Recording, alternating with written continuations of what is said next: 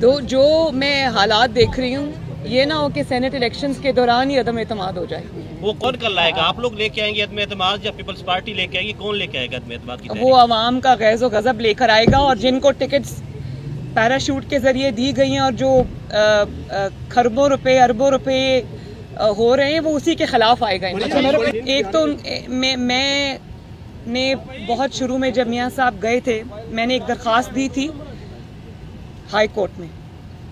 तो कोरोना की वजह से ऑब्वियसली सब कुछ सस्पेंड हो गया तो वो भी आ, अभी तक हमारी जो भी दरख्वास्त होती है वो पेंडिंग पे हो जाती है।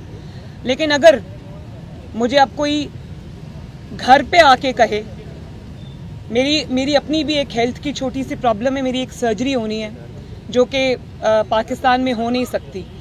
लेकिन मैंने ये फैसला किया कि मैं इस हकूमत को बिल्कुल ये रिक्वेस्ट नहीं करूँगी इन कि मेरा नाम ई से निकाले। मुझे इस मुल्क से कहीं नहीं जाना।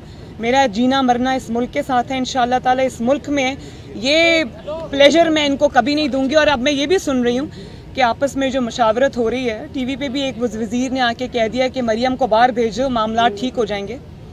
और ये बातचीत हो रही है, मुझे इसका अच्छी तरह से इल्म है।